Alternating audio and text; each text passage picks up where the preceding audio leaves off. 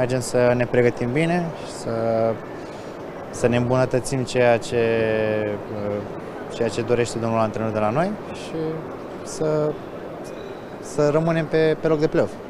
Ați arătat bine pe final de an. Ce a schimbat noul antrenor? Cu ce a venit în plus? Dânsul are filozofia, are filozofia lui. Uh, Am, am răspuns uh, destul de bine la ceea ce ne-a cerut dânsul și acum urmează să, să continuăm uh, munca pe care am început-o și pe drumul pe care am plecat cu dânsul.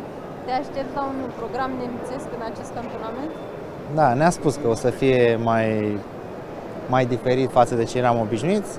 Ce Niște- Da, la ce, la ce te aștepți? În ce sens? Niște teste am înțeles, uh, o să vină cineva din uh, Germania să dea niște teste cu noi. O să vedem ce o să Unde fie. ai întâlnit o astfel de pregătire sau ceva tragic, nu știu, ceva greu pentru voi? La Eu ce- n-am mai întâlnit, că oricum am jucat numai prin țările astea, Turcia, Grecia, unde era mai pe relax așa. Și cum vine această piesă pentru voi? Nu. Adică v-a responsabilizat într-o măsură? Să Da, fiți am mai avut, atenți în uh, camp? am avut program de pregătire mai strict, mai bănuiesc că toți l-au respectat și a zis că oricum o să vadă pe 5 dacă s-a respectat sau nu s-a respectat. Ai impus și niște amenzi, niște Uh, lucruri mai stricte? Nu, nu. Amenziile uh, constau în uh, alergare.